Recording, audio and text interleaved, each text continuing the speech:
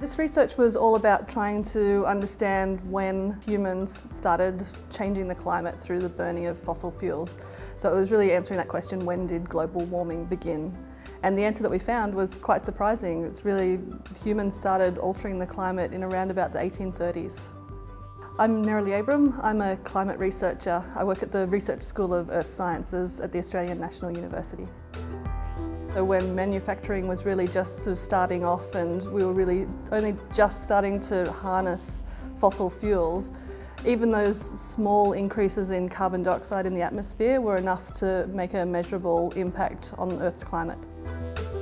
There's some strong regional patterns in the way that this human warming signal first developed. So we, we see it really clearly in the tropical oceans and over the northern hemisphere continents, whereas in the southern hemisphere it took a little bit longer for that warming signal to really start.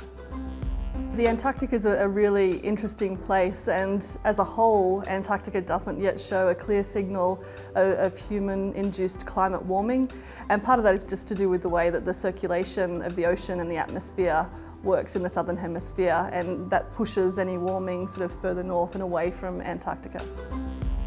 Some of the samples are samples that I've actually collected and worked on in the lab, but really this is much of a, a, much bigger project than that. So it draws in work that's been done by thousands of scientists across the world and brings that all together to answer this really big question. It's really important to know sort of how our climate responds, which parts of the earth respond most quickly to changes in greenhouse gases. And, and, that's really important, particularly if we're talking about how we might rectify problems of climate change in the future, knowing sort of where there could be rapid paybacks if we are able to reduce emissions and even pull some of that carbon dioxide back.